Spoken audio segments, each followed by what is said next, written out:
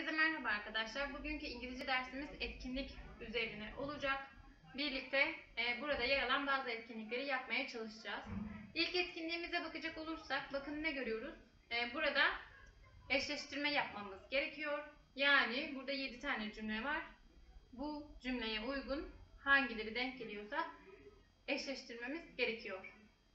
Yapmaya başlayalım. Bir de ne diyor? Your room is a mess. Yani ne demek bu? Senin odan dağınık diyor. Yanlarda da ifadeler yer alıyor. Hangisi denk gelebilir? A'dan G'ye kadar yer var.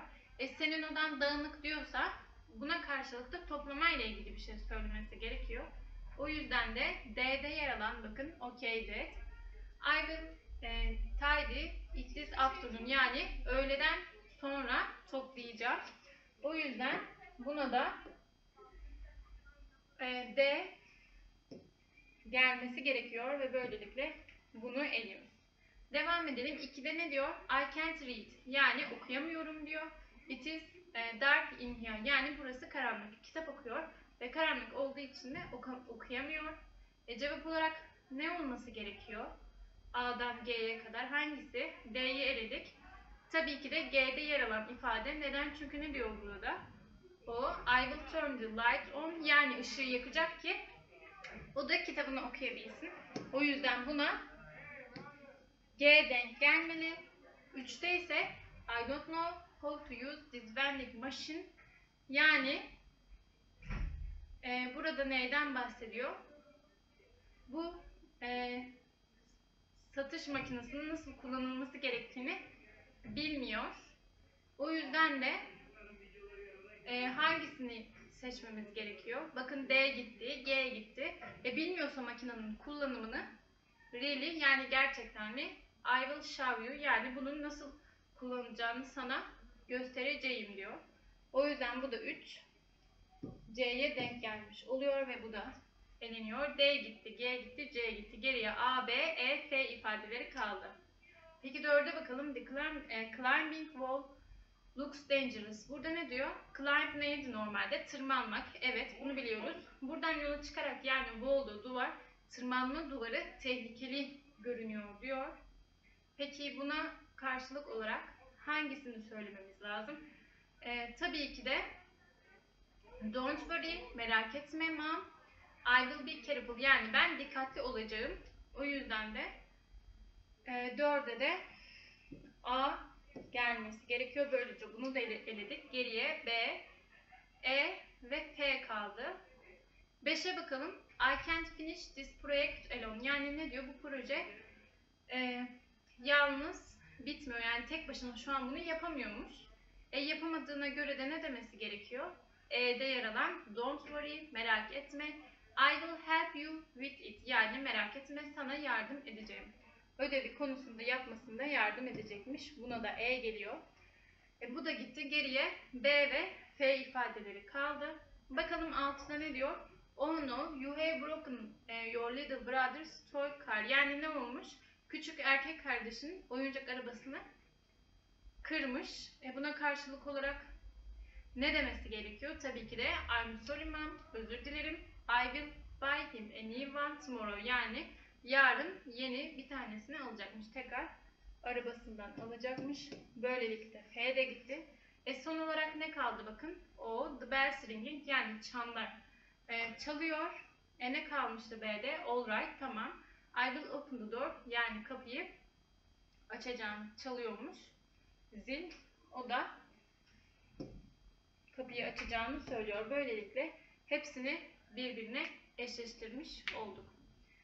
Diğer etkinliğimize bakalım. Görüyorsunuz burada konuşma gibi var. A ve B ifadeleri diyalog gibi düşünün. Ee, ne diyor? It's very cold in here. Yani burası çok soğuk diyor.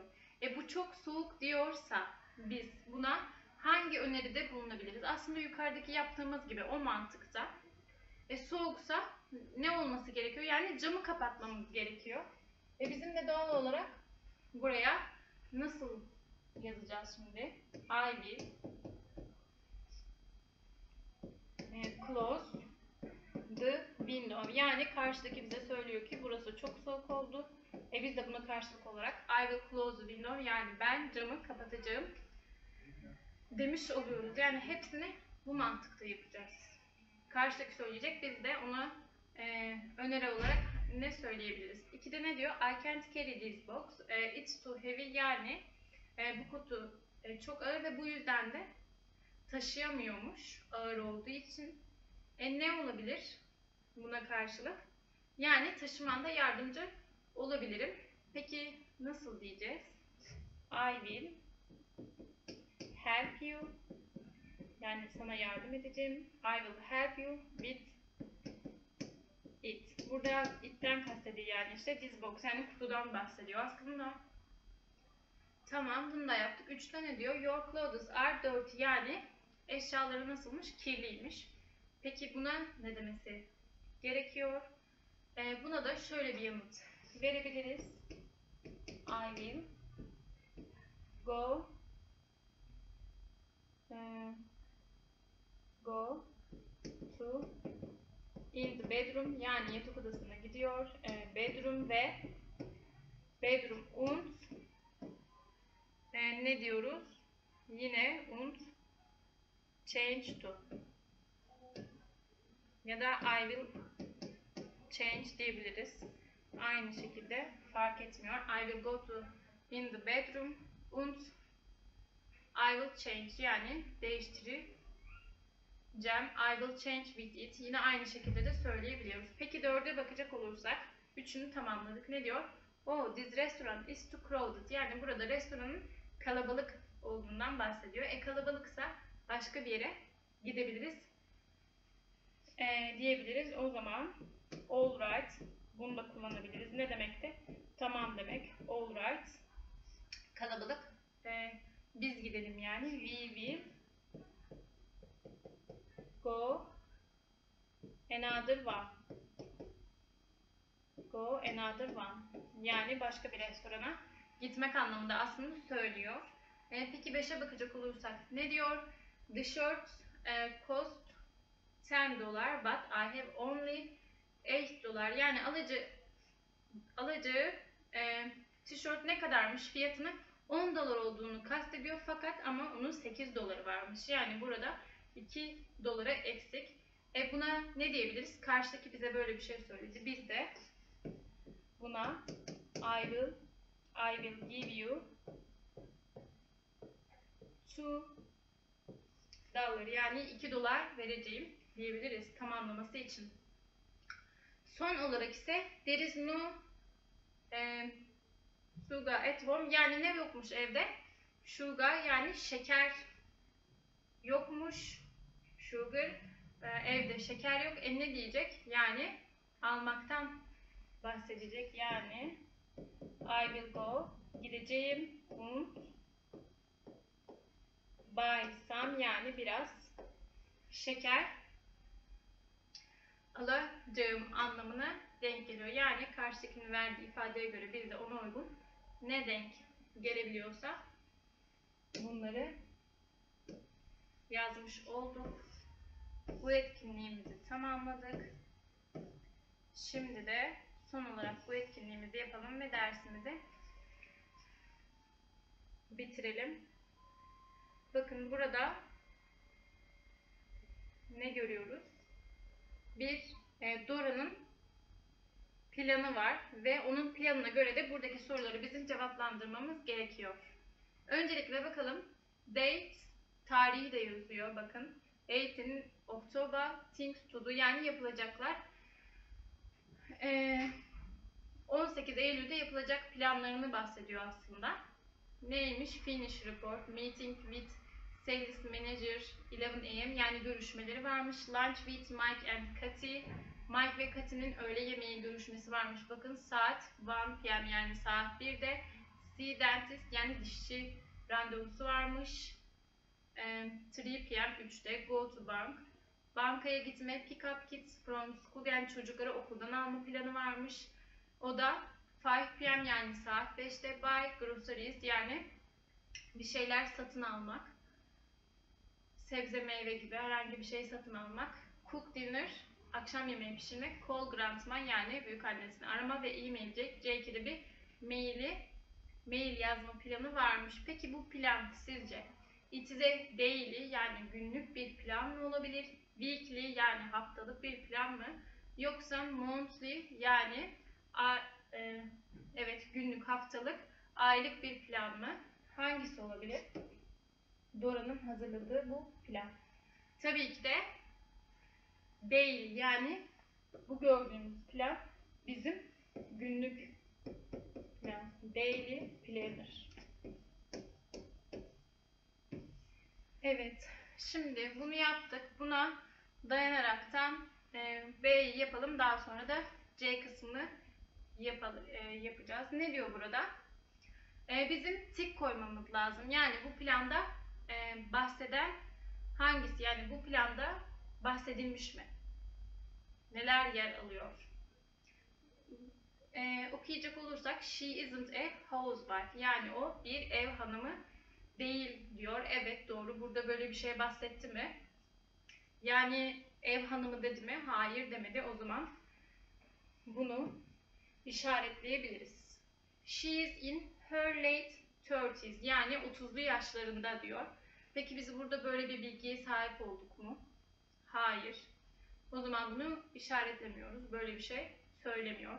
Üçte ise she works eh, as a marketing manager yani satış danışmanı olarak markette çalıştığından bahsediyor mu? Hayır, böyle bir şey görmedik. Dörtte ise Mike and Katie are her cousins. Yani Mike ve Katie'nin kuzen olduğunu söylüyor. Peki bunların kuzen olduğuna dair bir bilgi var mı? Evet, lunch with yani öğle yemeğini beraber yemişler. Evet. Ama kuzen olduğunu söylüyor mu? Böyle bir şey söylemiyor. Beşte ise she has some health problems with her teeth. Yani dişlerinde bir sağlık problemi olduğunu söylüyor.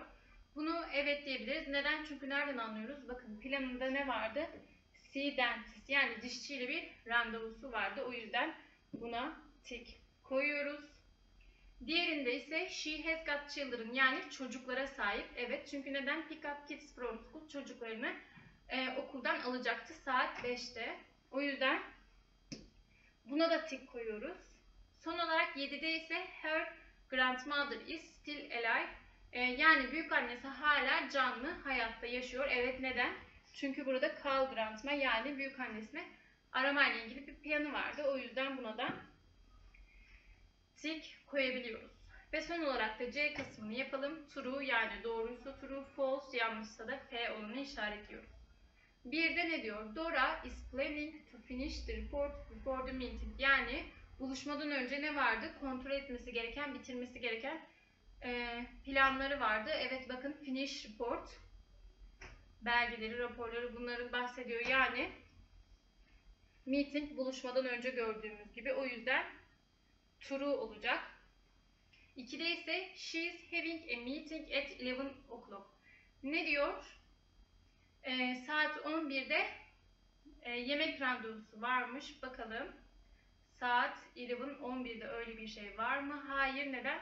E, with sales manager yani bir dan- e, satış danışmanıyla bir görüşmesi vardı. O yüzden buna biz false diyoruz. Yani yanlış. 3'te ise she is having lunch e, with Mary and Katie at 1 o'clock. Yani Mary ve Katie'nin saat 1'de buluşacağını söylüyor yemek için. Evet bakın lunch with Mike and Katie ama orada Mary ile Katie değil de Mike ve Katie'den bahsediyor. O yüzden yanlış oluyor. Yani false. 4'te ise she is seeing the doctor at 3 o'clock. Yani saat 3'te doktor görüşmesinin olduğunu söylüyor. Evet saat 3'te var ama orada dentist diye belirtmiş. Yani dişçiye gitmesi gerekiyor. O yüzden bu da false. Aynı şekilde oraya dentist yazılması gerekiyor. 5'te ise she is going to her children's school at half eh, past five. Yani çocuklarını okuldan aldığı saat burada ne diyor? 4.30 ama orada kaçta alıyormuş? 5 p.m. yani saat 5'te. O yüzden yanlış. Evet çocuklarını alacak ama saat farklı. Buna da false diyoruz. 6'da ise she is going to buy some medicine yani ilaç satın alacakmış diyor. Burada peki hiç biz ilaçla ilgili bir şey gördük mü? Buy groceries aynen bir şeyler alacak ama hiç ilaçtan bahsetmiyor. O yüzden bu da e, false olacak. 7'de ise she isn't planning to have dinner at a restaurant. Yani restoranda öğle yemeği yemeyecek böyle bir planı yok. Evet. Neden? Ee, restoranda yukarıda öyle bir bilgi göremiyoruz. Bu yüzden true yani doğru. Son olarak 8'e bakacak olursak she is going to send an email to her grandmother. Yani onun büyük annesine e-mail gönderecek diyor. Peki biz böyle bir şey gördük mü? Hayır. E-mail kime yazıyor? JK. O yüzden false. E, grandma yani grandmother büyük annesini arayacak call. E-mail yapmıyor. Bu şekilde e, bu etkinliğimizi de bitirmiş olduk ve böylelikle dersimizin sonuna geldik. Bir dahaki ders görüşmek üzere. İyi günler.